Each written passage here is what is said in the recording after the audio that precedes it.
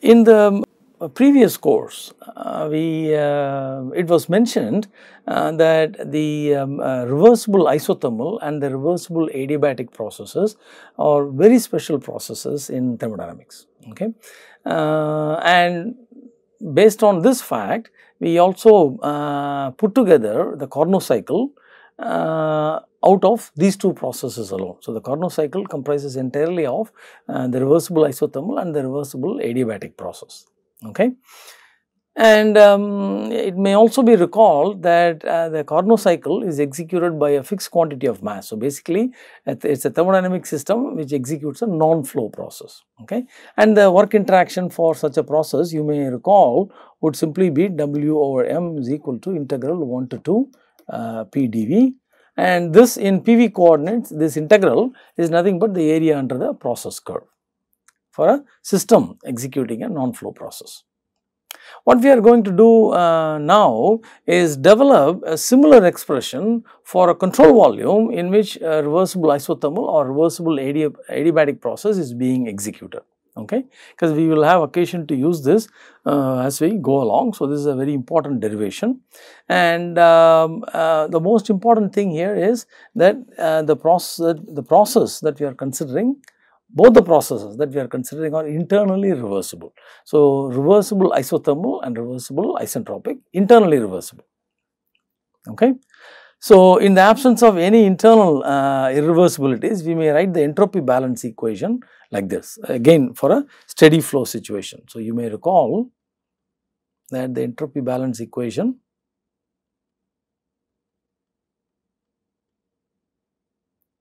look like this for a steady flow situation. So, in the absence of any uh, internal irreversibilities, this becomes uh, 0. So, we end up with the expression that we wrote down just now.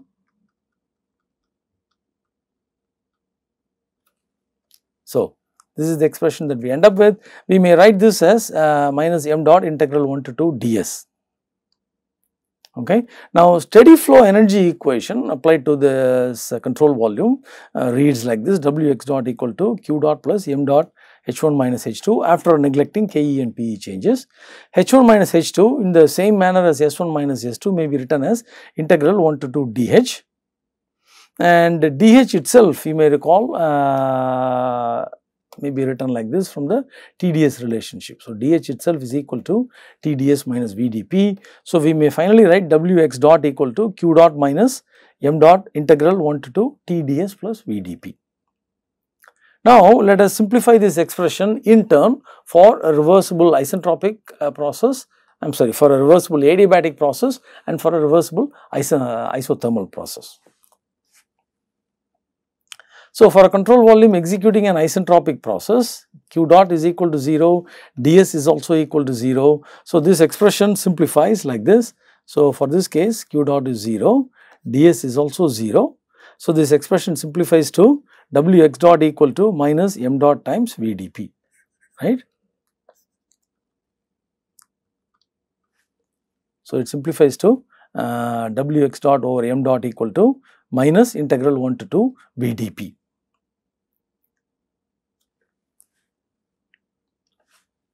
So, uh, for a compression process you can see that this is the uh, process curve for uh, for an isentropic process going from 1 to 2. So, this is a compression process and this one, so let me write it explicitly here. So, this is a compression process going from 1 to 2s like this and this is an expansion process going from 1 to 2s like this.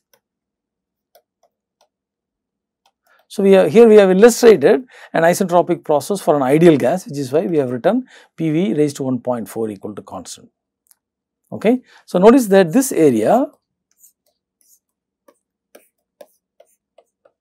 under this curve is equal to minus integral VdP and similarly here.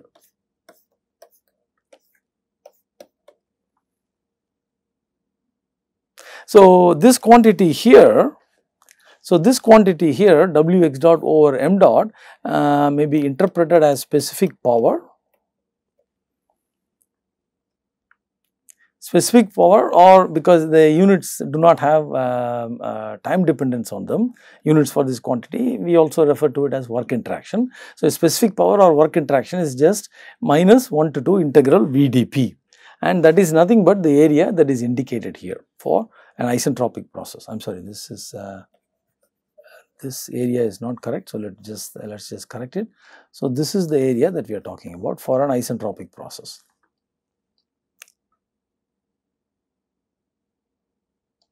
Okay. Now, let us just illustrate the same thing for a non-flow process. So, for a system which executes a non-flow process between the same two states, uh, executes a non-flow isentropic process between the same two states, the work interaction for that case W dot over M dot would have been this here. Similarly,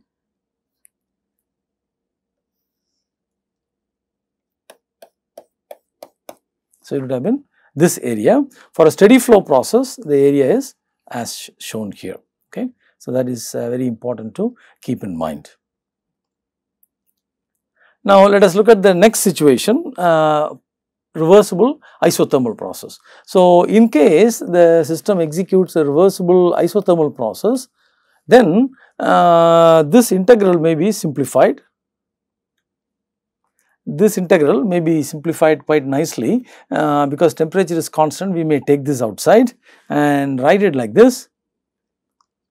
Okay, so, we may take the temperature outside and that is a constant and this integral Cs integral Cs uh, delta Q dot is the uh, is nothing but the total heat transfer net heat transfer to the control volume. So, integral Cs delta Q dot is the heat transferred across the entire control surface. So, that is nothing but the net heat transfer to the control volume. So, we may write it as equal to Q dot. So, we get a nice expression like this in this case. Okay. We may take the temperature inside the integral because it is a constant. So, W x dot over m dot is equal to q dot over m dot minus this uh, integral and q dot over m dot itself may be replaced using this expression here. So, then you can see that these two cancel out. So, we end up surprisingly with the same expression as we did for uh, an isentropic flow process. Okay, The specific power is equal to minus integral 1 to 2 V dP okay and the process curve for the reversible isothermal process is shown here using the chain line so that is the t equal to constant line so let's just uh, see if we can so the area that we are talking about in this case is equal to this.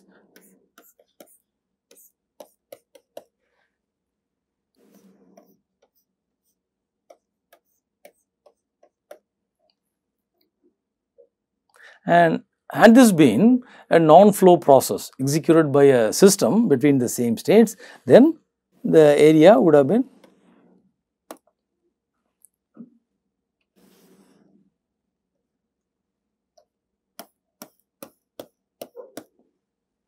and similarly here also. The expression is the same, area enclosed is the same uh, in the in the sense that the area enclosed is given uh, as shown here Notice that uh, the uh, in case of a compression process where we are uh, putting in uh, work or power, the power required for compressing between the same two pressures. Notice that the pressure at 2s and pressure at 1 uh, I mean in each case we are starting from the same initial state and compressing uh, to the same final state here or in this case we are starting from the same initial state and expanding to the same pressure between 2s and 2. So, for both the uh, reversible adiabatic process and reversible isothermal process, we are compressing uh, across the same or expanding across the same pressure in these two illustrations. Notice that the power required is less for the reversible isothermal process for uh, compression process and the power produced by a reversible isothermal process is more in the case of an expansion process. So, this shows that the reversible isothermal process is better when it comes to power absorption for a compression process and power generation for a uh, for an expansion process. So, it seems to be the ideal process.